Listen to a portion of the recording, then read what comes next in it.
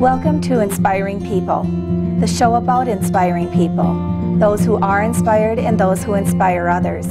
We all know them. They're good examples, they're supportive, they embrace life, they live inspiring lives in their day to day actions, and in turn, inspire others to do the same.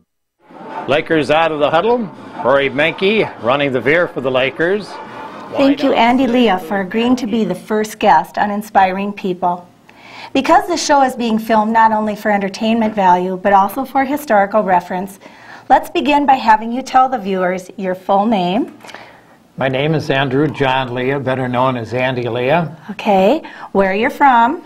Well, I uh, was born in Detroit Lakes, and I graduated from Detroit Lakes High School in 1959, and uh, been various other places, and finally back here in Detroit Lakes. And what is your current profession? I'm currently operations manager at KDLM Radio, and uh, also I do the sports. I'm the sports director there too. So. Okay, well, thanks again for being here. Um, Andy, why don't we begin by having you tell the viewers something about your family?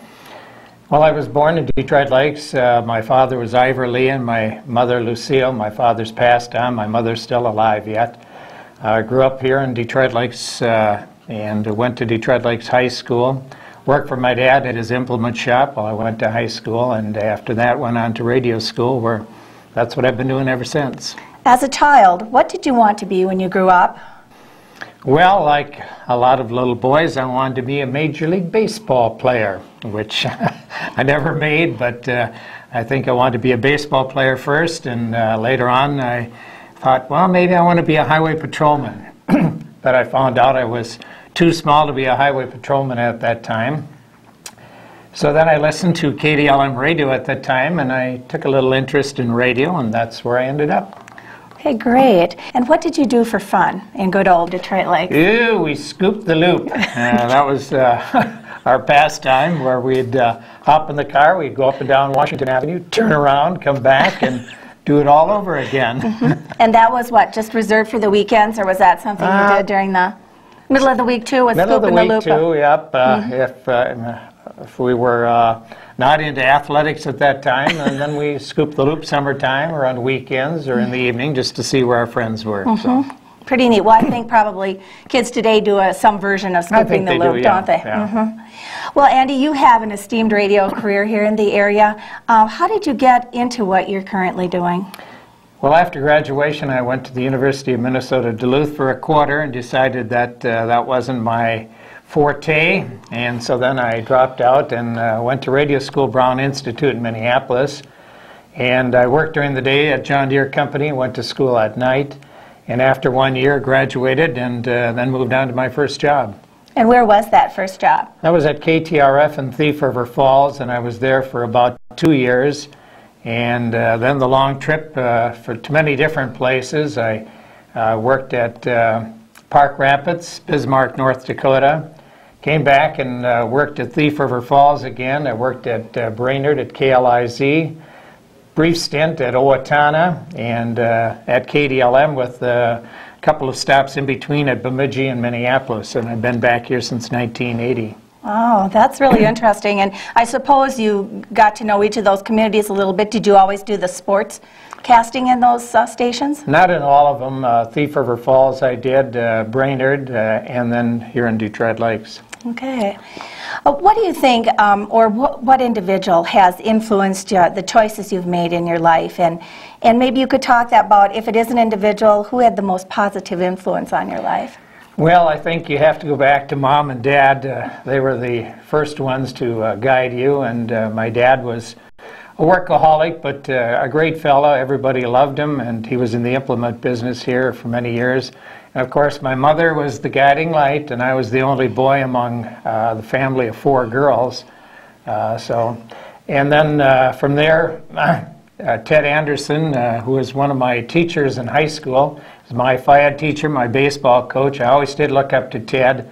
And at that time, I was kind of a little short runt, and uh, Ted always gave me credit, uh, promoted me to do things in athletics and other things. And so I always uh, thank Ted for his help. And then I, probably my first radio station manager, Don Olson at KTRF, gave me my first opportunity and showed me the radio business to start with. Okay, and do you think that these individuals then, they've contributed in some way to the person you are today, and in what ways do you still feel their influence? Well, my dad uh, definitely for hard work. Uh, uh, I'm not afraid of hard work. Uh, Don Olson for teaching me the radio business and how to go about meeting people and uh, the sports angle out of it. And uh, of course, my mom, who's still around, she still guides me uh, mm-hmm. into the right path.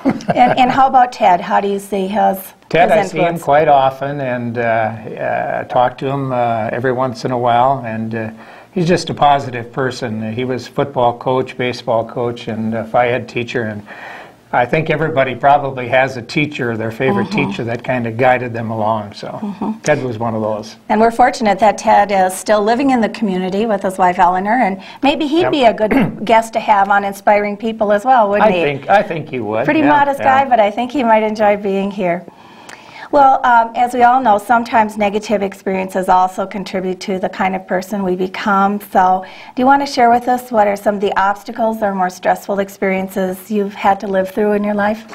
Well, I think probably when you ask me that question, uh, one of the first things that uh, comes to mind is uh, I was on the air and when John F. Kennedy was shot. Uh, that was very tough to do to stay mm-hmm. on the air for the length of time that we did. We broadcast around the clock. Uh, of course, 9-11, it just happens that I was on the air that morning that uh, the planes flew into the World Trade Center. And I think one other stressful moment, but it was very enjoyable moment, was my first state high school championship football game, broadcasting it from uh, the Metrodome. Uh, I was probably the most nervous person around, except for maybe Mr. Mankey, but uh, it was a great experience, and uh, we've been there three or four more times since then. So right, many of us know and remember yeah. the broadcasts that you did right. from there. They're exceptional. Um, for some of these experiences, um, who or what helped you get through the, the stressful times in your life, or the the times when you've had to endure negative experiences?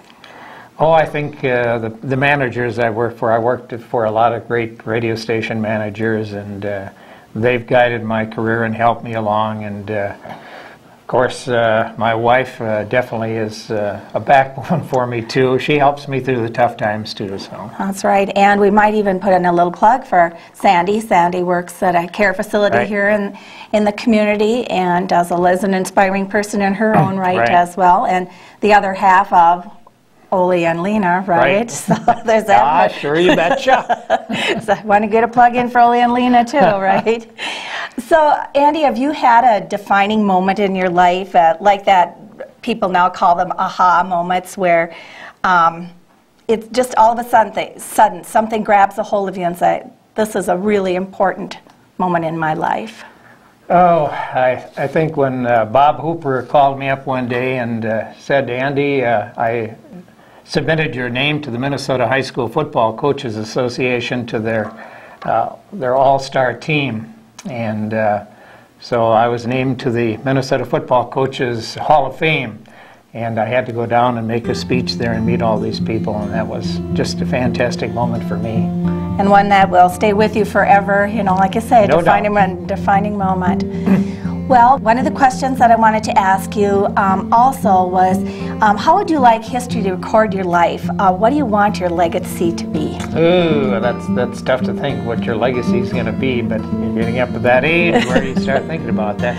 I just, uh, I think back to all the, the years that I've worked at the radio station. I've never missed a day of work. I've been the morning voice of Detroit Lakes, waking people up. The people say, hey, I wake up to you every morning. I think that and plus being the voice of Detroit Lakes Laker Athletics for all these years are something that uh, I've enjoyed and probably will be my legacy.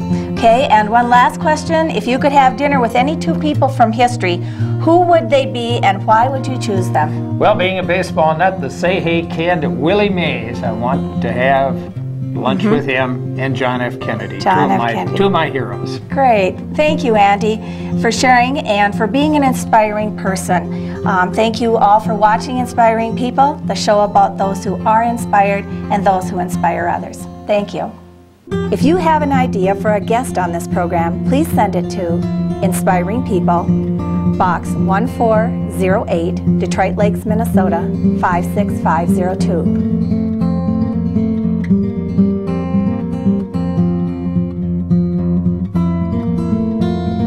All Inspiring People interviews will be archived in the Becker County Museum. They may or may not be available for public use.